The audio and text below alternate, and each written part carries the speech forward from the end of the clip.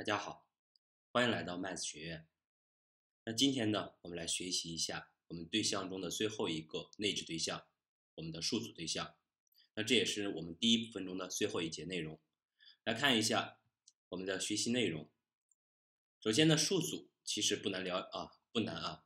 如果有其他语言基础的同学呢，对于我们的数组肯定有一个了解，而且一直在用。那接着呢，我们 JS 中也有我们的数组。首先呢，数组呢是我们值的一个有序集合，在数组中，我们是不是可以来保存多个值啊？对吧？每个值呢，我们可以当做我们数组的一个元素，而且呢，我们每个元素在我们的数组中都会有对应的一个位置，我们也可以把它叫做索引。那这个索引呢，也是通过数字来表示的啊。那像我们 PHP 中是不是也有我们的索引数组，包括关联数组啊？对吧？但是在 JS 中，我们的索引是通过数字来表示的。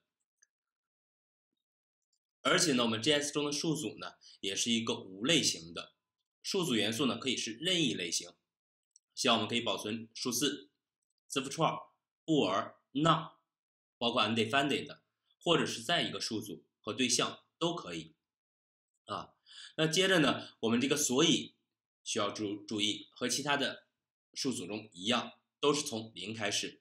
那最大的索引呢，也是到二的三十二次方减二。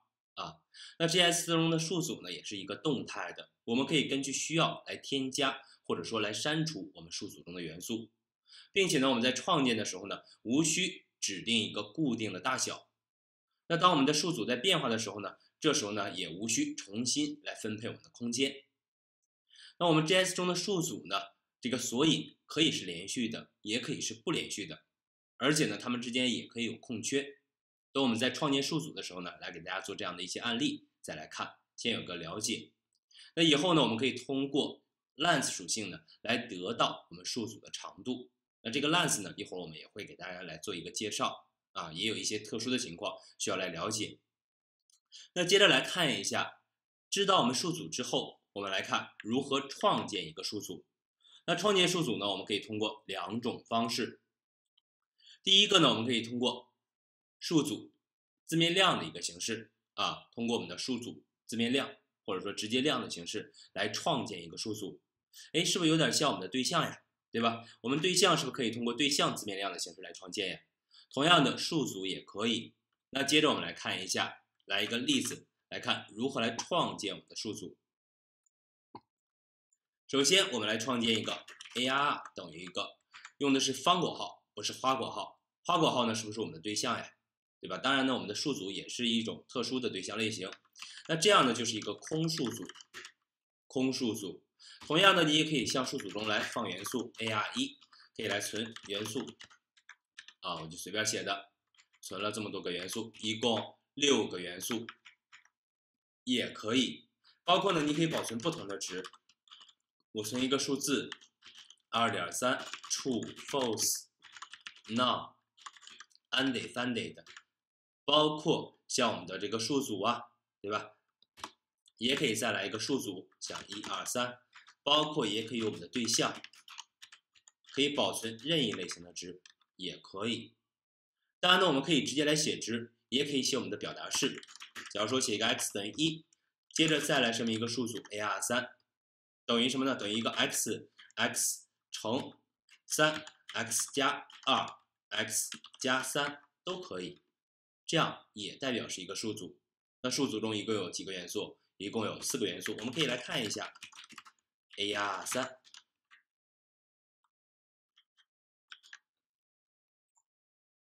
来看数组中一共四个元素。接着来，第一个是一，接着三、三、四这样的效果都可以，一、三、三、四没问题，四个元素。这是我们在数组中，你可以通过表达式的形式来写。那接着呢，我们也可以省略我们数组中的某个元素，你也可以这样来写：ar 四点一逗号逗号。现在是不是省略了第二个元素啊？那此时相当于写了一个一逗号 undefined 逗号三这样的效果。不信的话，你可以 alert 一下 ar 四。一逗号，中间没有三，那接着呢，你也可以得到啊，一会儿我们可以来得到，或者说你可以看一下它的长度，我们可以通过谁来得到它的长度？对，通过 length 就可以来得到。我们可以先不谈了，我们输出出来，console 点 log 一下 ar 四点一个 length，此时有几个元素？对，应该有三个。你看，三个元素这样的效果。那同样的，我们也可以这样来写。Ar 一个 ar 五等于一个逗号逗号，那现在数组中间有几个元素啊？有两个元素都是 undefined 的，对吧？啊，来看一下，你也可以 console 点 log 一下 ar 五，ar 五点上一个 length，得到的是两个元素二，对吧？我们通过对象自变量的形式呢，我们可以。可以什么呢？可以在这个末尾多一个逗号，接着呢，我们这个引擎会忽略掉我们这个数组字面量的中的最后一个逗号，这是可以被忽略的啊，被忽略的。所以说呢，这一块是有两个元素，有两个元素，这一点需要注意。这是我们通过数组字面量或者直接量的形式来创建的数组，数组直接量形式创建数组。那接着呢，我们也可以通过谁呢？可以通过第二种方式，通过构造函数的形式，通过构造函数 array 的形式来创建数组。那在 array 的过程中也有三种情况，我们可以来看一下。第一种呢，我们没有传参数，直接这样写的，那相当于我们写了一个空数组，就等于我们直接通过对象自变量啊，数组自变量的形式来创建了这样一个空数组，这是可以的。接着呢，我们也可以传递一个参数，也可以传超过大于等于二的时候，大于等于两个的时候的一个参数，它们两个是不同的。那接着我们先来看第一种，直接通过 new array 的形式来创建一个数组，再来写 a 等于 new array，那这样呢就创建了一个空数组，就跟你写的这样一个效果是一样的啊，是一样的。同样的，你也可以来指定什么呢？指定一下我们数组中。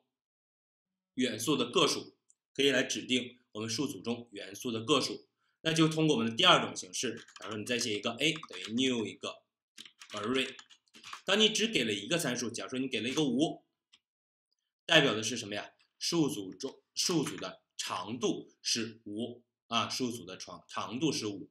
那不信的话，我们可以来得到一下它的长度，console 点 log 一下 a 点 length。这时候它的长度是五，这样的效果只给了这一个参数啊。那接着呢，如果说我们知道数组中要存放多少个啊元素，那这时候呢，你可以在 new 它的时候来给定这样一个值。那这时就会来分配这样一个，假如说你要存储五个元素，分配这样一块空间来存储五个元素。但此时呢，我们数组中现在还是没有值的啊，没有值。那接着再往下，还可以，假如说你传递超过了一个参数，那这时候呢，你看，我们再写一个，就是第三种情况了，new 一个 array，你传了一个一，传了一个一，二，king false 二点三 not，是不是传递了这么多个参数啊？对，那就相当于我们直接。写了像一二 k，这对应的是数组中的元素，记住，这对应的是数组中的元素。我们可以通过 console 点 log 来看一下我们的数组，一共有这么多元素，一二 k false 二点三 no，这样的形式啊，也可以。但是呢，你使用这种 new array 还不如直接通过我们的数组字面量的形式，那样是不是简单多了？对，没问题。啊，那接着这三种形式创建数组会了，其实最常用的，我们就是通过直接数组字面量的形式来创建我们的数组，这种方式比较简单。那可以创建数组了，那现在我想取出我们数组中的值，那我们怎么来做呢？接着来看一下如何来使用我们的数组。看下一个，那使用数组呢，我们可以记住一个原则，像我们的 PRP 也是一样的，是不是根据谁呀？根据我们的下标找到对应的键值啊，同样的，我们的数组 GS 中的数组也是根据它的索引就可以了来得到你想要的对应的值。像我们也可以来查找，可以来添加，包括来修改，包括来更新都可以。我们可以来做这样一些操作。那接着我们来试验一下，首先来看看如何来读取。我们再来一个例子，var 一个 ar 等于一个方括号，假如说一二三四，一共四个元素。那此时它的长度是四。接着我想取出第一个，我们直接来写它的下标从几开始？对，从零开始。那此时取出的就是一。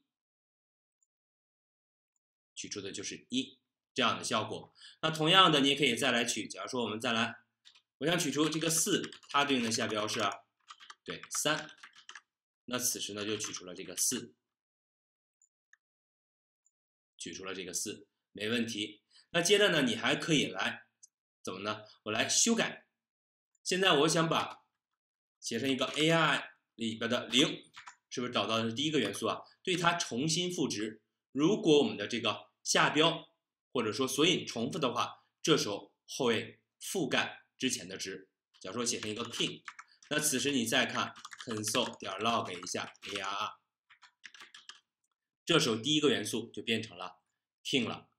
同样的，你可以来修改，我也可以来添加。我再写一个 arr，写成一个五，写成一个 hello mice。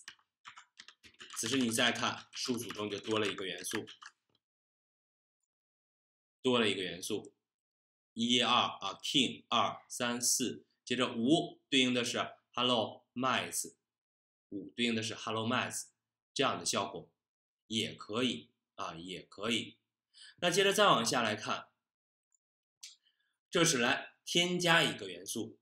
那同样的，我们也可以这样来，再写一个 ar 一个 x 等于一个二。那此时我 console 点 log ar 里边的 x 是不是和你直接写一个 ar 二一样呀？就是我们的等量代换的原则。那此时取出的结果应该是三，对应的是三，这样的效果也可以啊，也可以。同样的，你也可以再这么来写，再写一个 arr 里边的 arr 的 x 对它重新赋值变成三十三，三百三十三 arr，。那现在你看到第几个值就变成了三百三十三呀？对，第三个值这样的效果，零一啊，第四个值，为什么是第四个呢？来看一下 AR 的 x 是几啊？二，二对应的值是三，那 AR 的三是不是对它重新赋值了？是不是正好把它变成了三百三十三呀？这样的效果也没问题啊，也没问题。那这也是可以的啊。那其实呢，在这块还需要注意。还需要注意，我们数组是不是也是我们对象中的一个特殊形式，对吧？我们可以使用方括号来访问我们数组中的元素，就像我们在访问对象的时候是通过谁来访问呀？对吧？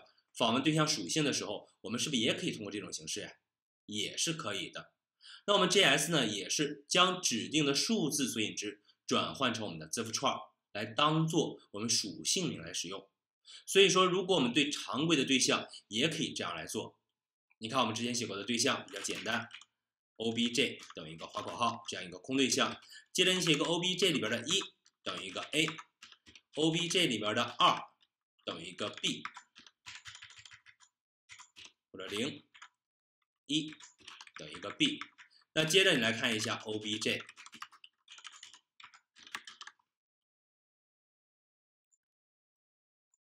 object 零对应的是 a，一对应的是 b。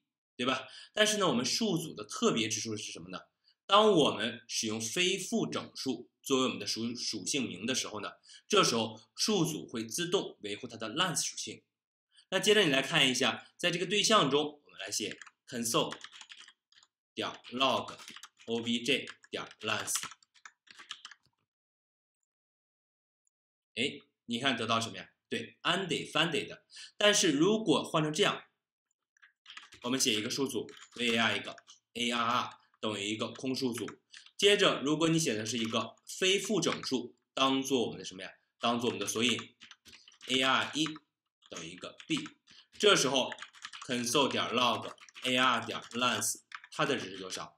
对，是二，它的值是二。这样的效果。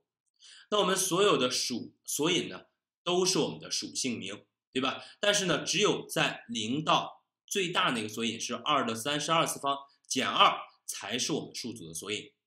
所以说呢，我们的所有数组都是对象，对吧？我们也可以拿任意的名字当做我们的属性，这是没问题的。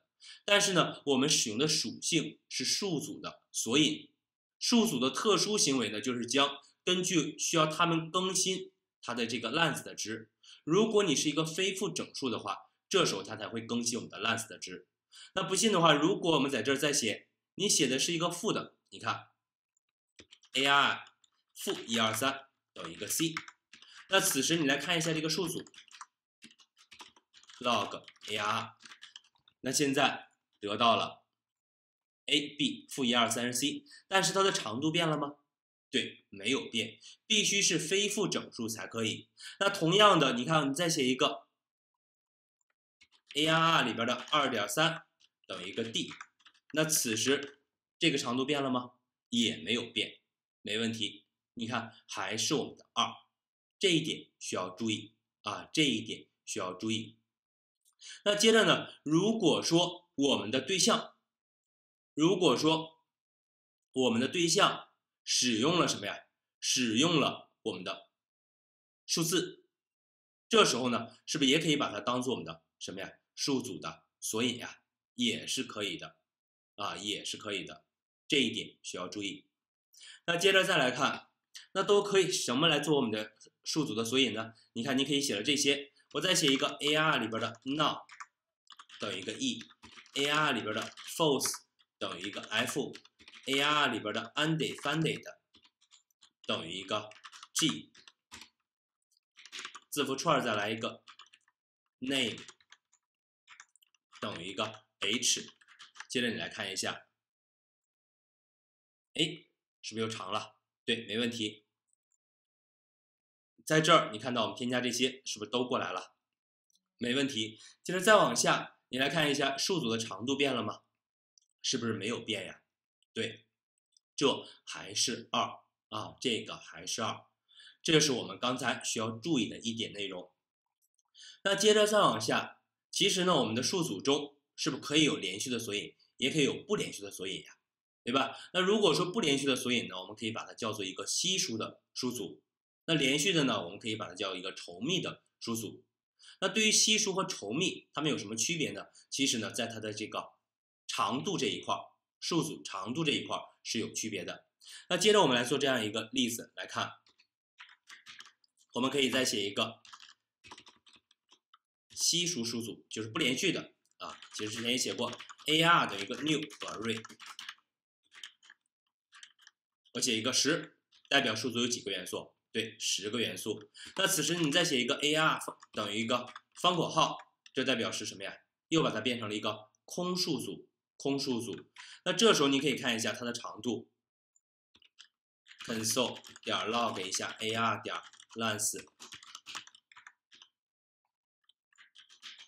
应该是十，没问题，十。那接着再看，如果说我们把它复成了一个空数组，那此时它的长度是几啊？对，是零，是零。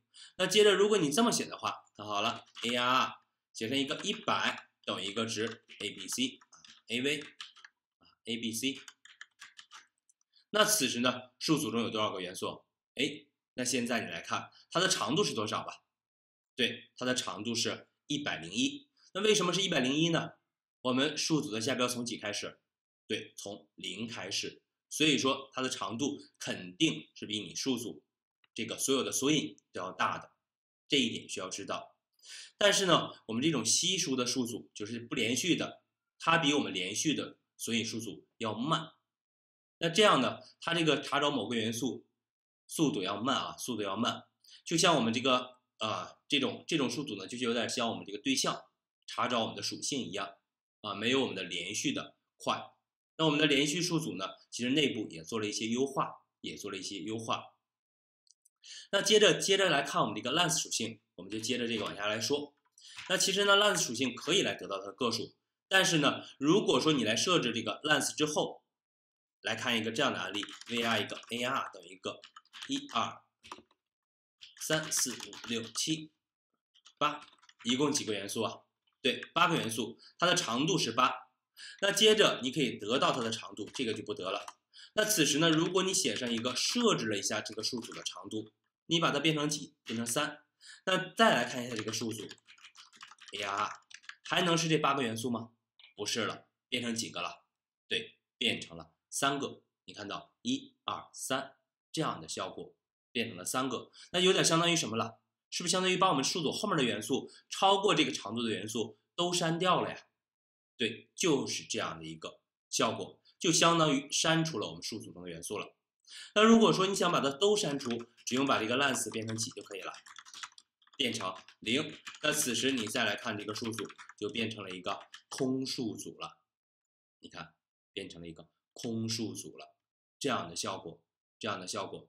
当然呢，我们也可以直接来再来设置。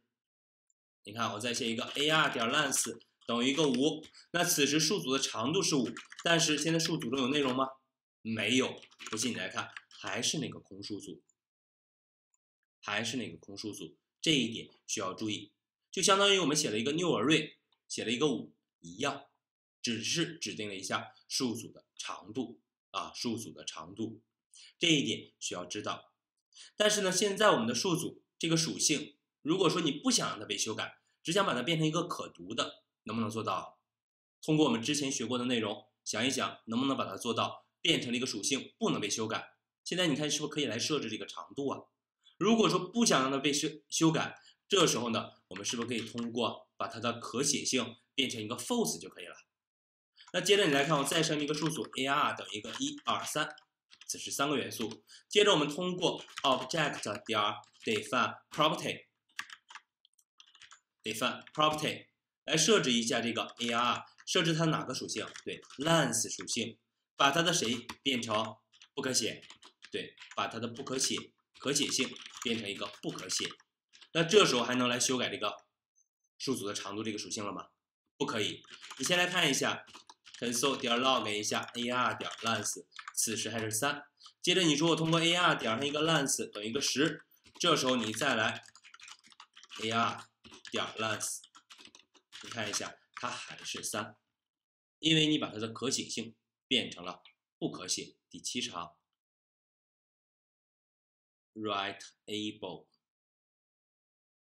t a b l e 没问题，false。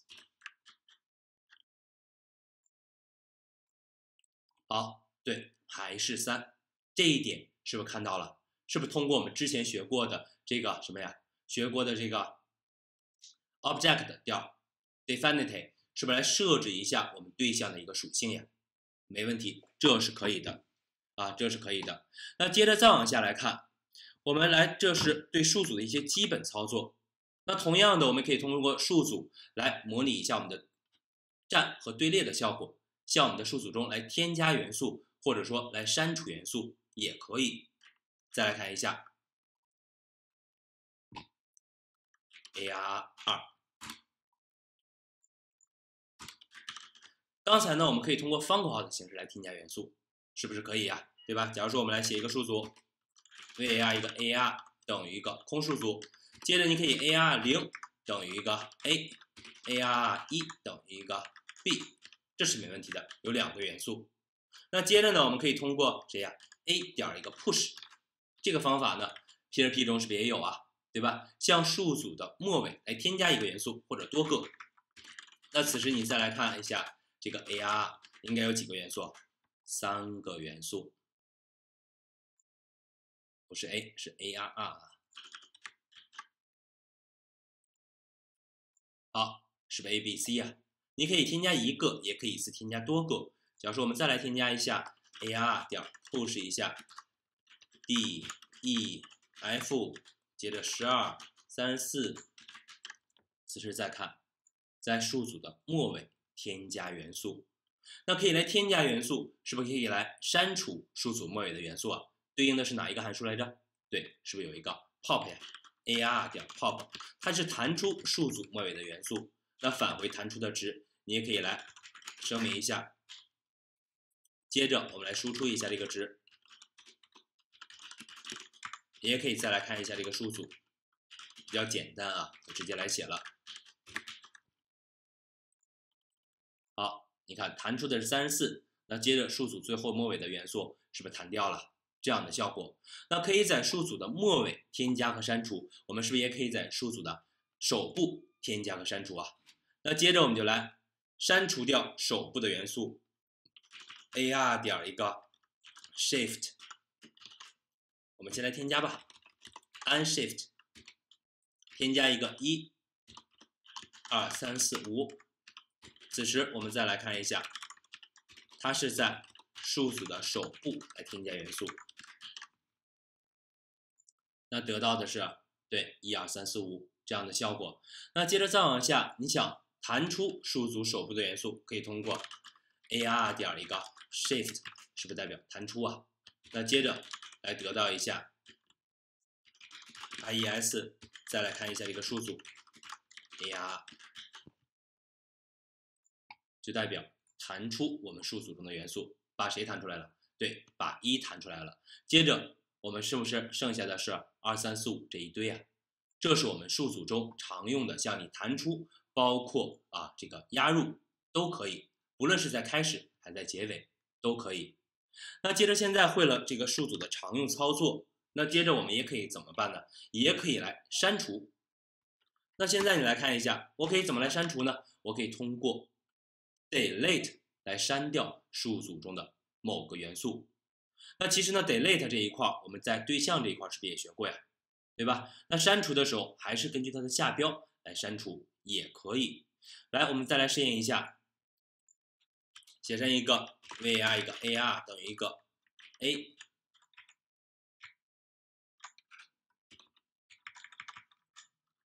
b c d。好，接着我们通过 delete。ar 里边的，我想把 a 删掉，写成一个零就可以了。console 点 log 一下 ar，那现在得到的应该是 b c d b c d。那现在接着来看，通过 ar，通过 delete 删掉之后，看一下这个数组的长度是否变了。来看数组的长度，哎，变了吗？对，需要注意，删掉了这个。数组的长度是不变的，这一点需要注意啊，这一点需要注意。这是我们这个数组相关的一个使用，我们可以读取，包括添加、包括更新以及删除都有了。那再往下来看，假如我们说我们数组中元素很多，我想让你把所有的数组中的元素都拿出来，我们是不是可以根据它的下标一个一个来来取呀？对吧？但是呢，重复的事情我们要想到怎么做，或者说有规律的事情。应该想到用循环，也就是我们所说的便利这个数组。我们可以再来一个例子，看一下我们这个数组 JS 中如何来便利我们的数组。可以在这看到，在便利数组的过程，我们给大家写了通过三种方式，可以通过 for 来循环便利下标连续的数组，这个是没问题的。那接着来看一下第一种最简单，可以通过 for。来便利我们下标连续的索引数组 v r 一个 ar 等于一个 a b c d e 五个元素，接着我们可以通过 for v r 一个 i 等于一个零，接着 length 等于一个 ar 点一个 length i 小于我们的 length len，接着 i 加加就可以。那现在我想把它输出来，console 点 log ar 里边的 i。就得到了每一个元素了。来看，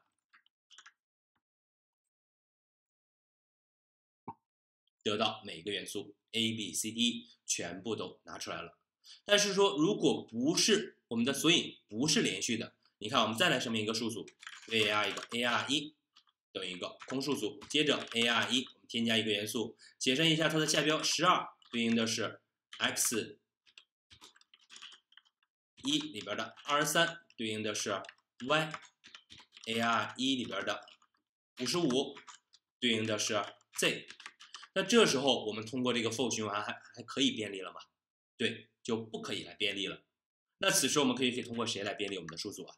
可以通过我们的 for in，for in 我们是不是也学过呀？在哪儿学过？是不是在我们便利对象的属性的时候学过这个 for in 呀。同样的，可以通过它来枚举我们的这个属性，也可以通过它来便利我们的数组。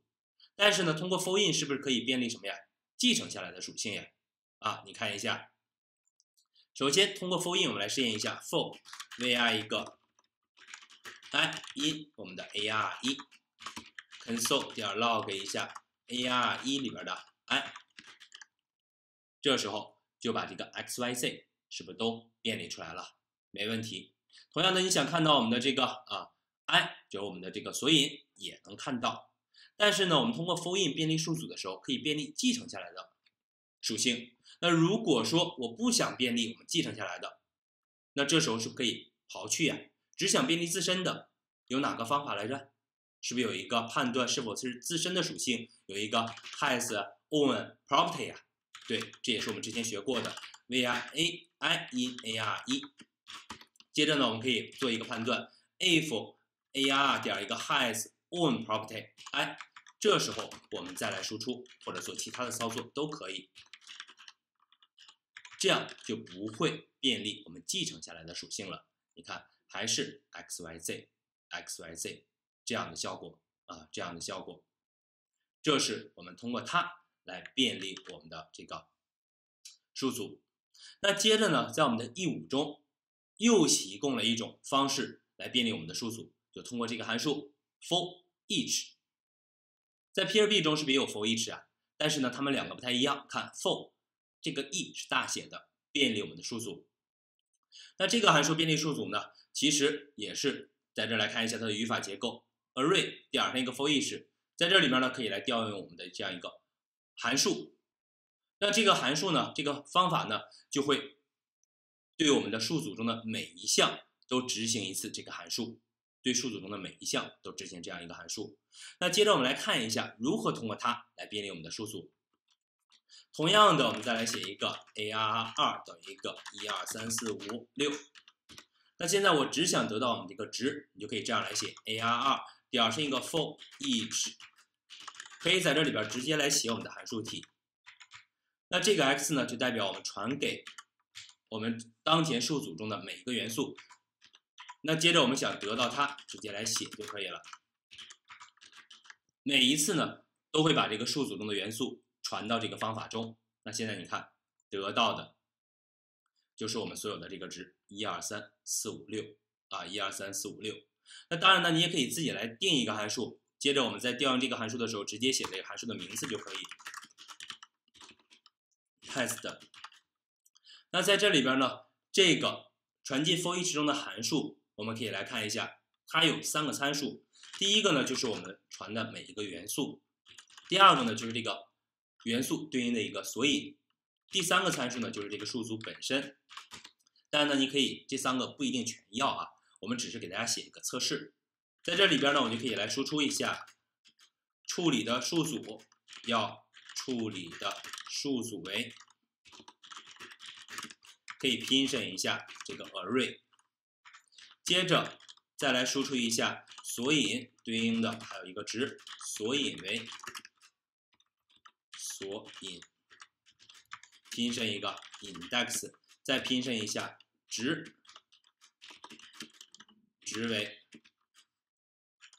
来一个杠杠，再拼上一下 element，我们这个元素。那接着你来看，我想便利的时候，只用写 arr 点一个 for each，调用一下谁呀？我们的 test 就可以，只用传这个函数的名字啊，传这个方法就可以了。那现在我们来试验一下是否可以。来看要处理的数组，第三个参数就是我们这个调用这个 for each 的这个数组。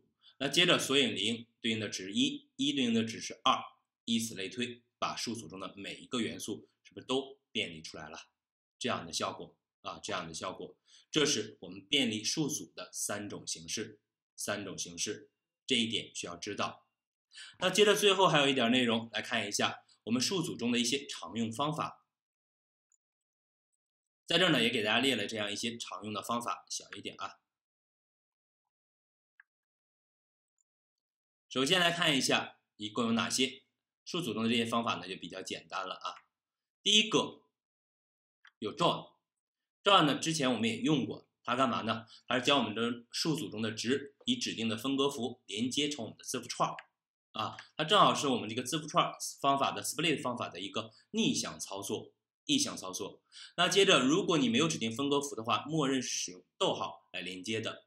我们也可以再来一个例子，来看一下我们数组中的一些常用的方法。写成一个 AR 四。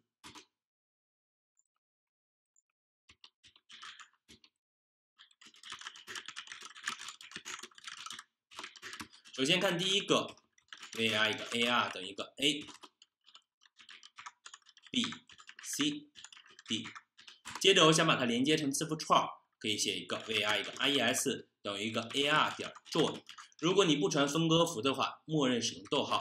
接着你来输出一下 res，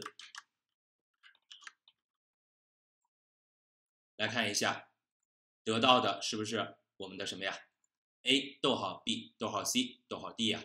对，这样的效果。你没有指定分割符，默认使用的也是我们的逗号，这一点需要知道。同样的，你也可以指定一下我们的分割符，你可以在这来指定一下，res 等于一个 ar 点 join 一下，以逗号来连接。那现在它们的效果是不是一样呀？对吧？一样的。那接着你也可以再来指定 res 等于一个 ar 点 join 一下，以空来连接，那得到的结果就是一个 abcd 这样的效果啊，也可以，比较简单。再来看第二个函数，我们的 reverse。那 reverse 呢，代表什么呀？代表的是反转数组的一个倒置，我就直接来写了，res 等于一个 ar 点一个 reverse，反转我们的数组。此时来输出一下，console 点 log 一下 res，之前的数组 abcd，那反转之后呢，变成了 dcba，这个呢比较简单啊，比较简单。那接着再往下看第三个。我们还可以对数组中的元素进行一个排序，可以通过谁来排序呢？通过我们的 sort 来进行一个排序。那接着我们来试验一下，在排序的这一块，我们需要注意，在 sort 的时候呢，你可以传一个你自己指定的一个规则，传这样一个比较的一个方法。如果你不传的话，它默认的是按照字符串的一个 Unicode 来进行的一个排序。我们可以先简单的试验一下，写成一个 AR 等于一个。a b c 大 A 大 B 大 C，那这时候我们来通过 ar 点 sort 一下，排序一下我们的数组，再来输出一下我们的数组 ar，得到的应该是大 A 大 B 大 C，接着再是我们的小 a 小 b 小 c 这样的效果啊，这样的效果。那接着再看，如果说你再写一个 ar 等于一个一、二、十一、二十，那此时我们再来排序一下这个数组，接着再来输出一下，得到结果先是什么呀？对，先是一，接着再往下是十一，再是二，再是二十。来看一下，它是默认按照什么呀？按照我们字符串的一个 Unicode 来进行的一个排序。而不是按照我们数字的一个从小到大的顺序，这一点需要注意。但呢，有的时候你就想，对于我们的数值，你想让它一个从小到大的，那你可以自己来指定一下我们排序的一个算法。我们可以这样来写，还是拿这个 AR 为例，数字的为例，我们可以通过 AR 点 sort 一下，在这里边呢，你可以指定一下我们自己排序的一个算法，比较的一个方式，在这个方式中。第一个值啊，需要传两个参数。第一个呢，啊，这两个参数呢，我们也是来进行一个比较。那如果说我们这个 a 比 b 小的话，a 比 b 小的话，如果返回的值是小于零的话，证明第一个数比第二个要小，证明 a 比 b 要小。那如果说 a 等于 b 的话，它返回的是零。那如果 a 大于 b 的话，它返回的是一个大于零的数。所以说呢，我们可以通过这种匿名函数的形式来对于我们的这个排序。进行一个指定规则，这一点也可以。当然呢，如果说你说我这个函数会用很多次，你可以在外面来单独写这样一个函数。如果说只针对于当前的一次排序呢，我们就可以使用这种匿名函数的形式了。那在这个函数体中，我们就直接 return 一下，比较简单，a 减 b 就可以了。那如果说 a 比 b 大，返回的是不是一个大于零的呀？对吧？那这时候 b 就排在 a 前面了。那我现在就可以按照什么呀？按照一个从小到大的对于我们的数组进行一个排序了。那现在返回的应该是一二十一二十。你看，我们再写几个三十五，得到结果一二三十一十五二十。按照的就是我们数值的一个从小到大的顺序。那如果你想让它从大到小，我们是不是直接写上一个 a b return 一下 b 减 a 是不是就可以了？对，那此时这就是一个从大到小的顺序，这个也不难。接着呢，我们也可以按照某个属性来进行排序，也可以来看一下。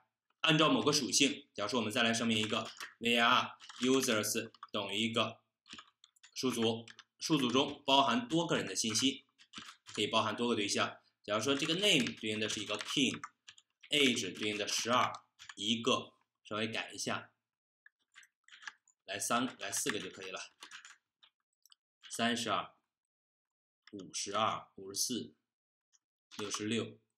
假如说我们按照名字来排序。张三，接着去。那现在我们在排序的时候，我想按照用户的这个名字来排序，按照这个 name 属性进行排序也可以，可以通过 users 点 sort 一下。接着我们可以来指定一下，如果说 a 点上这个 name 大于了 b 点 name，此时 return 写成一个一。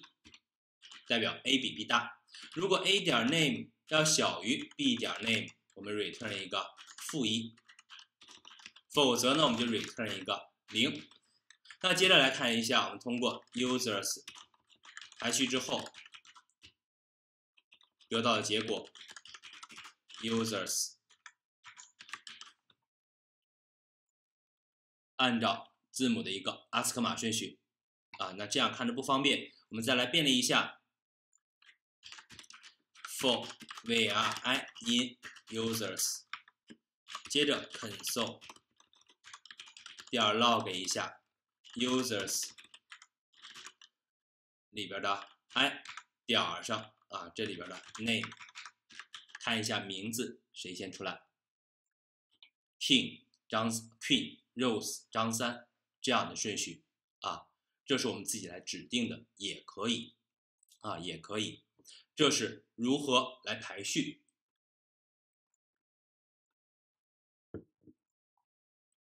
那接着再往下看，还有什么呢？还有像我们的连接的 concact，它是将我们原始数组中的元素和我们的新元素啊，和我们的新元素连接起来，组成一个新的数组。concact 也比较简单，我们来试验一下，var 一个 ar 等于一个一二三。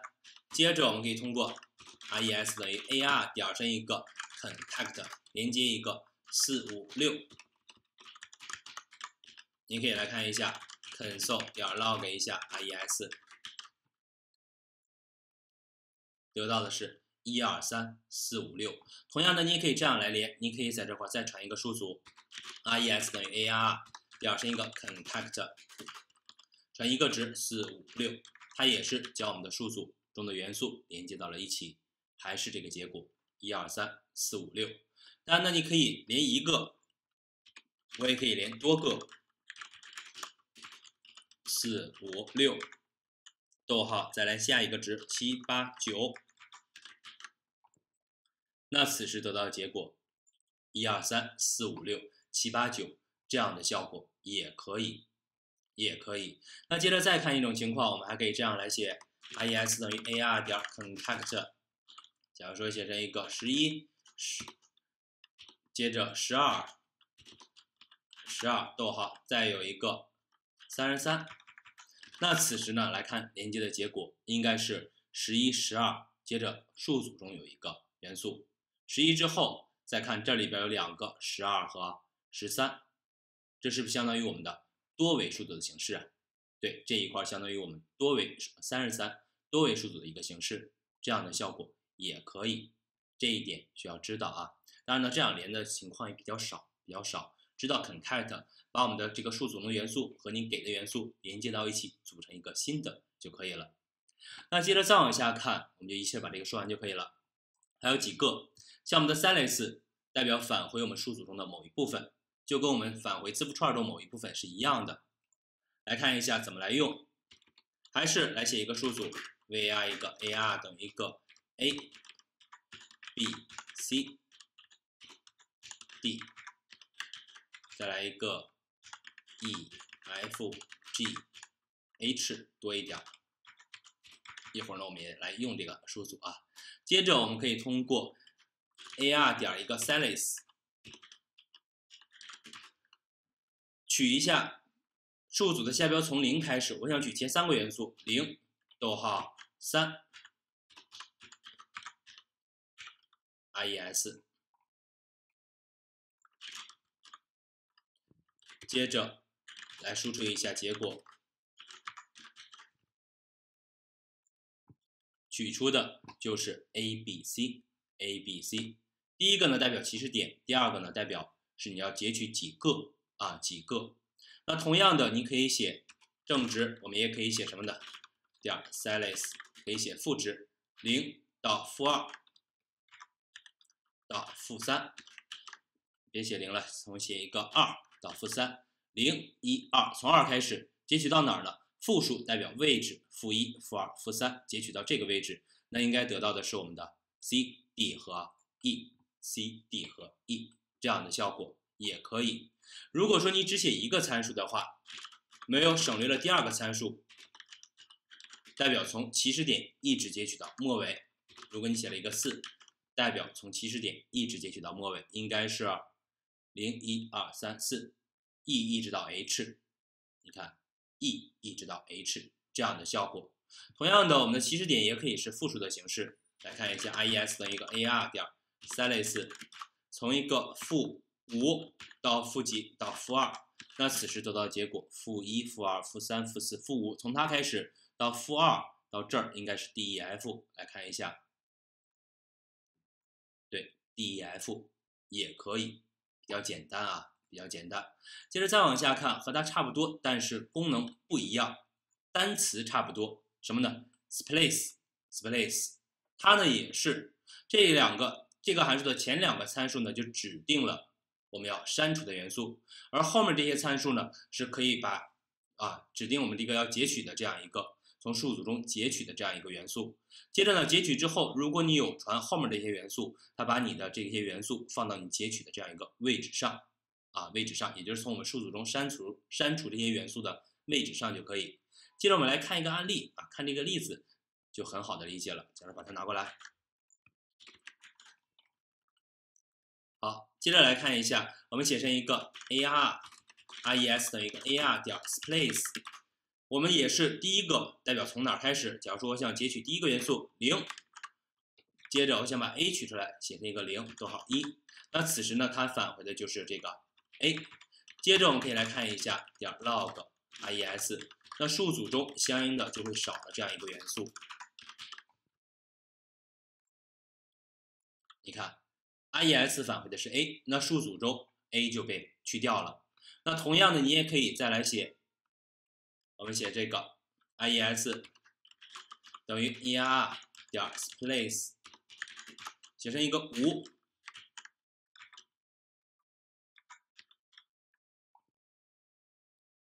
五开始。刚才已经看到了，它返回的结果去掉一个 a 之后是 b c d e f 了。你要写一个五零一二。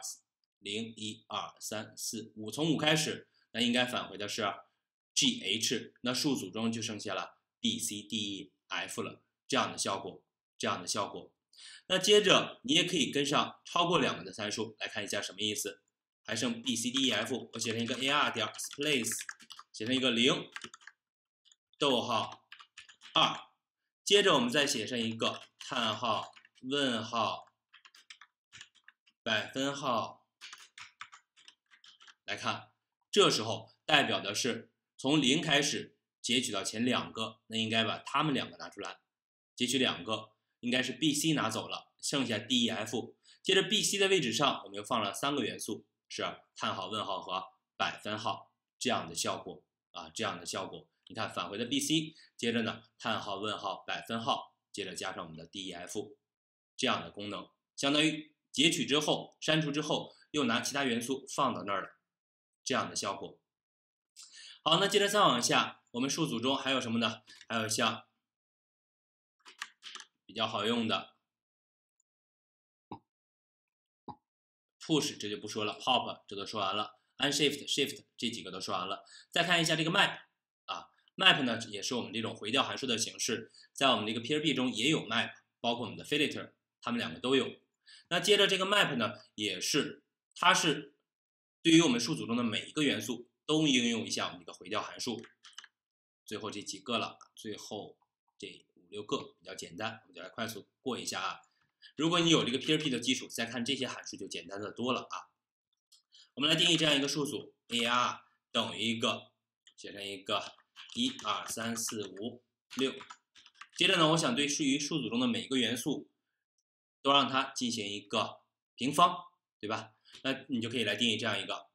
ar 点一个 map，指定一个回调函数，那这个回调函数中的参数呢，就是你当前传给我们这个啊，传给我们这个数组中的当前的这个元素，当前这个元素，直接 return 一下 x 乘以一个 x，接着再来看，把它的结果我们赋给 res，console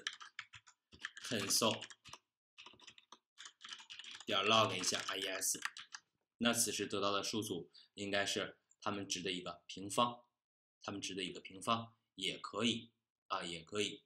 那如果说我们想将数组中的啊这些字母都转换成大写，并且呢，我们再将什么呢？假如说我们把这个数组中的叹号，我们再声明一个数组 ar 等于一个 a 叹号 b 叹号 c，接着 d 叹号 e。把数组中的这些，首先这些值都变成大写的。如果出现了我们的叹号，这时候把它变成问号，或者说去掉都可以。正好呢，也可以应用一下我们的正则，也是一样的。我们直接写 res 等于一个 ar 点一个 map，对数组中的每一个元素我们都应用。你也可以直接来写一个函数。假如说以后我们还会用到这个函数，接着我们就拿出来单独来写。如果只用一次的话，我们是不是直接可以写成一个啊？写一个叫 trans 吧，直接通过我们的匿名函数的形式也可以。那首先呢，我们应该来干嘛呢？是不是应该来把这里边的叹号替换成我们的问号呀？对吧？x 点 replace 应用一下我们这个字符串中的这个方法。接着呢，把这里边的我们要搜索叹号全局搜索，找到之后把它变成问号。搜索之后呢，再把这里边的内容结果变成我们的大写 to lower to upper case，直接返回就可以了。好，这样的效果，console 点 log 一下 res，看一下是否可以啊？哎，证明可以了。来看一下，把它小一点，得到结果 a 问号 b 问号 c d 问号 e 这样的效果。是不是也行了，对吧？啊，这是我们的 map。那接着再往下看下一个函数，我们的 filter 过滤的，对吧？那它可以来指定测试啊，指定的函数来测试我们所有的元素，并创建一个包含通过测试元素的一个新数组。其实呢，就是按照你指定的规则来过滤我们数组中的什么呀？我们数组中的元素，过滤我们数组中的元素。那假如说来看一下，我们定一个数组。AR 一个 ar 等于一个一三五四，随便写的这样的一些值。现在我只想得到值小于十的，小于十的元素，那是不是大于十的都被过滤掉了？那这时候你可以写一个 ar 点一个 filter，我就直接来写这个函数了，比较简单。x，接着我们 return 一下 x 小于等于十。代表符合我们的规范，那所有的返回真的话，它才会变成我们这个新数组中的元素。没有通过我们的规则的，它返回的是 false，那这个元素呢就没有放到我们的新数组里。那看一下，应该只有这几个符合，只有这几个符合。这样的效果。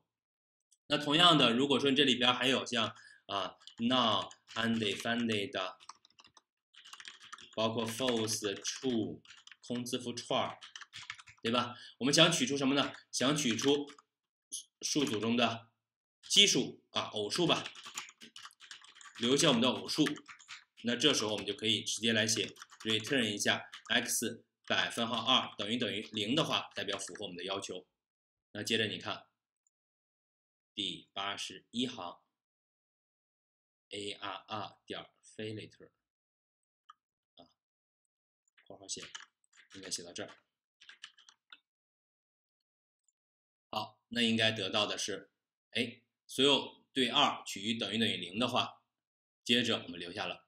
那接着这里边看，它们转换成我们的数值，对二取于也是零，这个没问题。那现在里里边像这个 none 呀，或者是 undefined 呀，我也不想要。我是不是也可以把它过滤掉呀？对吧？假如说我们过滤这个数组中的 None 或者 undefined，我们可以这样来写 filter，呃，function 加一个判断就可以，return 一下 x 不等于等于我们的 undefined，并且 x 不等于我们的 not，是不是就可以了？那接着你看这里边的 undefined 和 not 都会被过滤掉，undefined 和 not。是不是过滤掉了？这样的效果也可以啊，也可以。好，那接着再往下来看，还有几个，还有像我们的这个 reduce、reduce 和 reduce right，会了 reduce 这个就会了啊，包括 sum 和 worry 接着还有 is、array，还有这四个。好，咱们把它说完，数组这一块就完事儿了。那像我们的 reduce 呢，它是做一个累加器的。什么叫累加器呢？我们来看一个。例子就知道了。来看，我们可以来定一个数组，ar 等于一个一二三四五。接着，我们可以通过 ar 点一个 reduce。首先呢，我们来定义还是这样一个方法。在这个方法中，我们简单的 return 一个 a 加 b，它是干嘛的呢？那这个函数呢，这个这个 reduce 这个方法接收一个函数作为我们的累加器。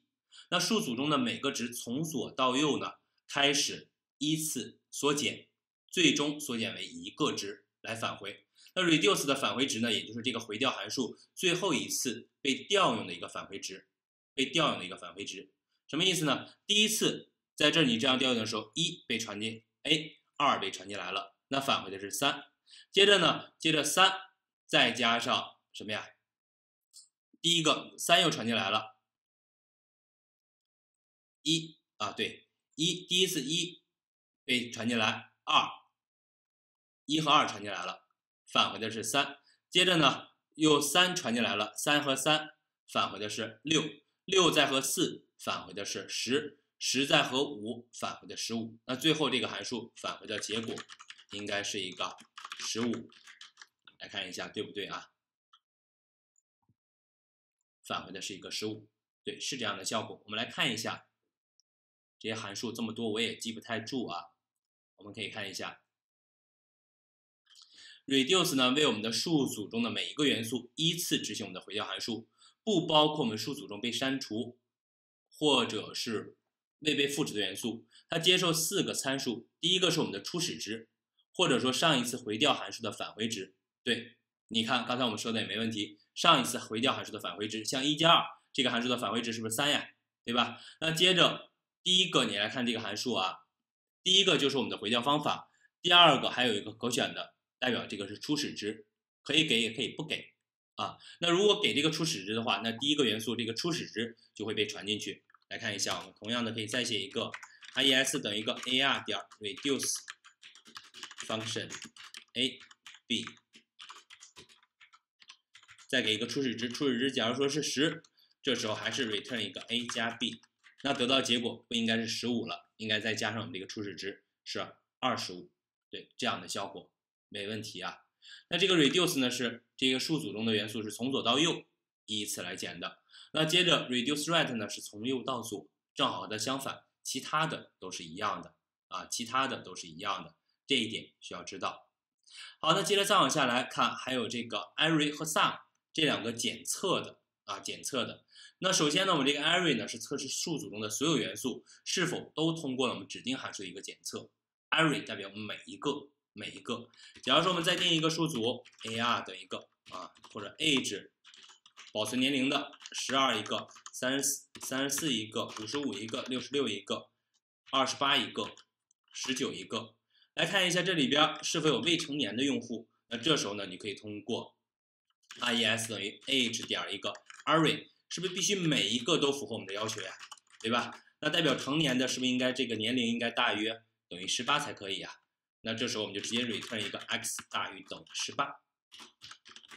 来看一下，那如果说每一个都通过的话，这个函数返回的就是一个真；否则的话，它返回的就是 false。那确实是这里边是不是有一个十二的呀？对吧？那如果说你把它变成了一个五十二，那现在是不是所有值都大于我们的十八了？这时候它返回的就是 true。array 是代表每一个每一个，那 sum 呢是代表某些，只要有值大于符合了我们的要求，那这时候呢，这时候它就会返回真。那来看一下，如果此时你要用的是 sum 等于 age 点 sum 一下 function，还是？return 一下 x 大于等于十八啊，十九也行。那这里边是不是肯定有大于等于十九的呀？所以说，你看这个 res 返回的就是真，返回的就是我们的 true 这样的效果啊，这样的效果。好，这是我们的 sum 和 array。接着来看一下，在这里边还有哪个函数了？啊，还有一个 isArray，包括 toString，对。在这两个之前呢，还有啊，还有两个常用的也说了，在这里边没写，给大家写到这儿吧，简单写到这儿。有这个啊，有一个 index of，是不是在数组中，在字符串中有，在我们的数组中是不是也有啊？array 点 index of，包括 array 点 last index of，这两个也有用。它是什么呢？它是来根据什么呀？根据我们给定的元素找到这个元素对应的一个索引，是不是搜索的呀？对吧？那 index of 呢是第一次搜索的位置，那 last index of 呢是最后一次。我们来试验一下，ar 一个 ar 一个 a b c d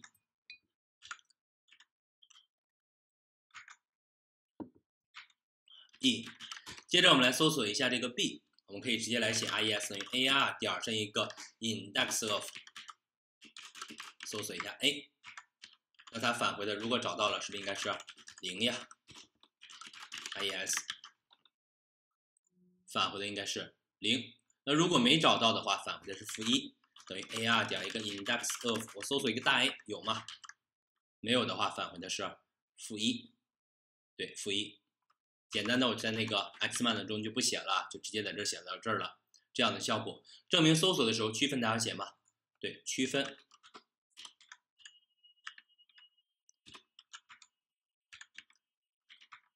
那接着再看，我们还可以跟上它第二个参数。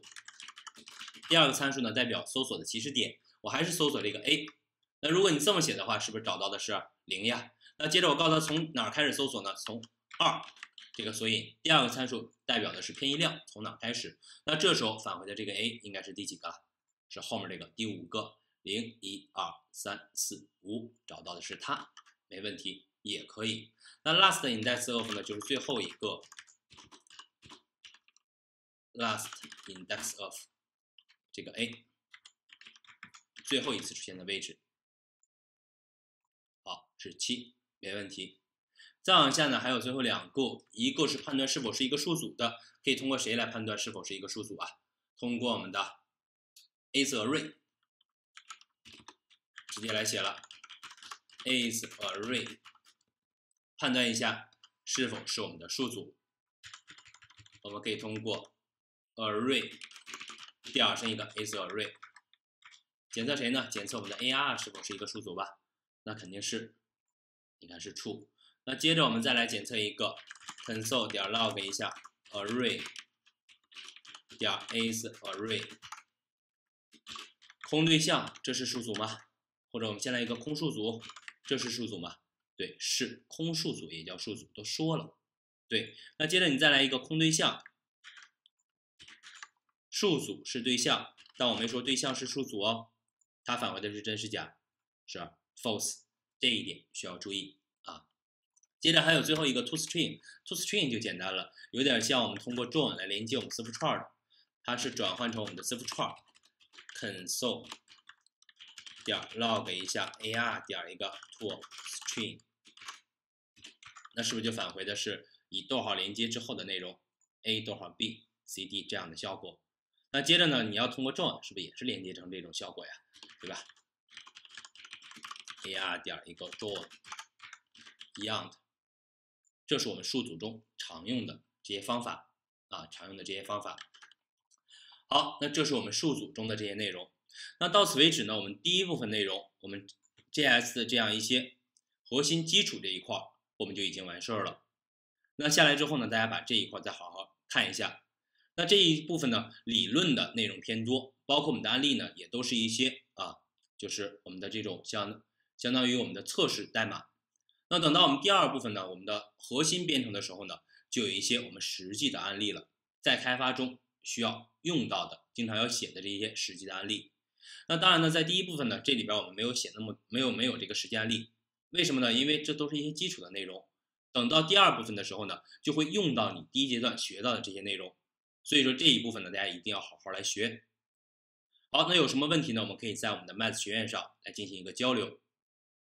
那这节课呢，我们就上到这里，感谢大家的收看。